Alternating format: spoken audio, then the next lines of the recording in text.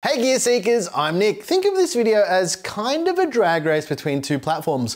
One is an exquisite supercar with all the bells and whistles, and the other one is a scrappy little nugget with a giant turbo and lots of boost. In other words, we've built two systems to come to some kind of conclusions about which platform will suit you better if you choose between a desktop platform and a workstation platform for content creation, but more specifically, video editing. Now, if I'm gonna be honest, this is a little bit of a selfish endeavor because I personally wanted to know which direction I should choose for building myself my own new editing PC. And with that said, this video might help you if this is something that you're looking at doing yourself.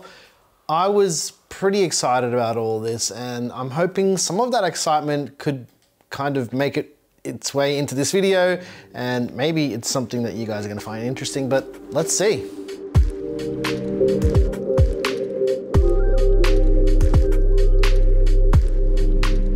Speaking of, there's lots of data to unpack in this video and there's chapters in all of our videos. So if you wanna jump to a certain section of a video, it's as easy as mousing over the progress bar or checking out the timestamps in the description.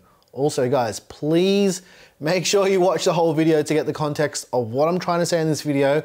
All of these Puget Bench results are linked in the description as well. So if you want, and you want to come to your own conclusions, you can check out all the raw data from those benchmarks in those links. Now, I'm going to explain how we formatted all this data as well as we go. So make sure you're actually listening to what's being said. Otherwise, it's just not going to make sense to you, especially if you're not watching this for content creation purposes and you just want to know how it works. If you've been following this mini series, you'd know that the first 12th gen system that we built was using the MSI Z690 unifier. Now, we had a few limiting factors, mainly no power delivery for the iGPU. And since filming that first part, we swapped the motherboard out to one that does support the iGPU, and this is what we found. Now this graph is basically just to show you those quick differences because we only ran one benchmark and this graph is divided by colors and there's a legend at the bottom of all the graphs in the whole video to explain all the differences. The overall score here is also divided by 10 to make all of this data fit in a single graph but you can see that the iGPU system absolutely smashed the no iGPU system. But what really surprised me was the live playback metric here. It's more than double the performance of a no iGPU system. This really shows the strength of Intel's QuickSync technology. This is not sponsored by Intel. Now, this is the only benchmark that we ran on this no iGPU system. So let's move on to something a little bit more interesting. Overall Premiere Pro performance. Now this graph is not divided by 10, these are the whole numbers and surprisingly the 12900K with iGPU system is the fastest out of the lineup and my current system which is a 3970X, which is a Threadripper with a 3090 is beginning to show its age a little. Although my main editing system is significantly undervolted to reduce the heat output. That's mainly a quality of life thing for me personally because I don't want my office heating up too much and this is actually something that won't be as unmanageable with Threadripper Pro. Now, I did notice that the 3090 Ti here makes these tasks notably faster than the 3090, which is actually pretty interesting in its own. Now, if we drill into the specifics per system, you can use the key at the bottom to understand the data here. And the only real metric where the 12900K and iGPU system is faster, other than the Threadripper Pro, is in playback performance. Remember, this is a CAN benchmark, and the codecs and formats used in Puget Bench are not the codecs that we shoot in. We shoot exclusively in Blackmagic Raw. Blackmagic Raw loves lots of RAM, so playback performance won't be too different from what we're already used to. It also really loves fast GPUs, so I don't see it changing too much now. Check out all the raw data in the links in the description to take a closer look at all of this. The most important metric to me personally is the export time. And the Threadripper Pro system here is the fastest, so it's got the quickest export time. So already that's looking like a good sign. Now, let's take a look at After Effects. Now, I've broken this down into two separate group metrics to help better understand what all this data means. Firstly, we have the overall performance and the multi-core performance. This actually shows quite a bit of disparity with After Effects as a bit of software. If we look at the Threadripper Pro results, we can see that the overall performance is lower than the 12900K system. However, the multi-core performance is measurably higher than the 12900K system. It's got more cores. Do the math. This is actually really to do with the renderer only now being multi-core enabled and the overall high clock frequency of the 12900K boosting that overall performance, which means it's going to be faster, if that makes sense. We're saying all of that because the 12900K is faster per core, after Effects is kind of stuck in the Stone Age with its rendering engine, even though it's, it's multi-core. Any CPU with a faster single core speed will be faster than with the so-called multi-core rendering engine that they implemented last year. Now, this is telling me that I actually need a PC just for After Effects with a 12900K. Well, not really, but you get the idea. Faster single cores is better for After Effects and it's always been that way and it probably always will be that way because Adobe doesn't listen to the people actually using the software, right? Lastly, we've got DaVinci Resolve now. I gotta say this from the beginning, we don't use Resolve that often and it doesn't really work with our workflow. I included this because a lot of people will ask for these metrics.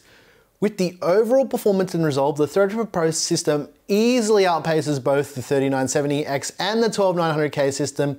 This is because Resolve is far more optimized for multi-core CPUs than the Adobe suite of products because Adobe just doesn't listen.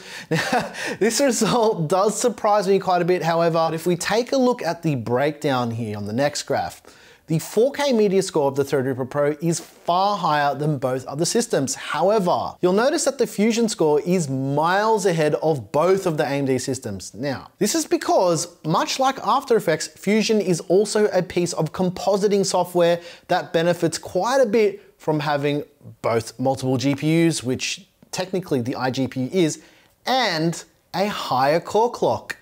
That's just how the cookie crumbles here. The 12900K per core is a faster chip. After all that testing, it's clear that both the Threadripper Pro and the 12900K system are pretty excellent for all these tasks. Now, I think the real deciding factor with a choice between choosing one of these platforms is really price, performance, and expansion. Well, at least it is for me.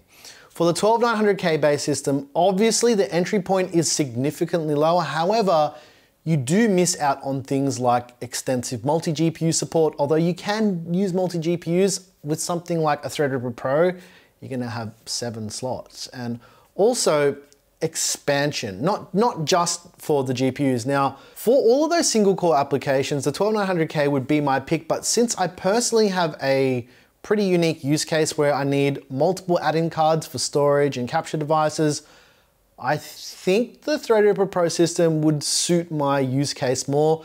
The performance uplift compared to my current system is reason enough to switch. However, after all this testing, I still haven't come to any conclusions yet. And I think I'm leaning towards the Threadripper Pro system, but as usual, I'd love to hear your thoughts in the comments about what you would choose and why you would choose a certain system and just let me know why you would choose something and if it suits your use case. For me, I think it's gonna be Threadripper Pro, but I'm still not sure. And yeah, that's basically it. And I hope you guys enjoyed this kind of drag race video. I was really excited to make this because we can talk about all this stuff until the cows come home, but unless we have some solid metrics to go off, it's just going to help us better understand where the strengths and weaknesses are of each platform. So I hope this helped guide you if this is something that you're interested in doing. And if it's not, hopefully it was kind of educational. And if you're wanting to get into this and like you starting out to be an editor, hopefully this video will help you get an idea of what works best for where. Or if you're a seasoned professional who works in the industry, maybe this video will help you level up your workflow. And that's just about gonna do it. If you guys like these videos and this type of video, hit the subscribe button, ring the bell for notifications and all that jazz. And if you hated this video, the dislike button doesn't work anymore, so tell us what you hated about it. Once again, thank you so very much for watching. I'm your boy, Nick with Gear Seekers. You peek, we seek, and we haven't done a video quite like this before, and to be honest, I was really excited to know which one was gonna be more potent for my workflow.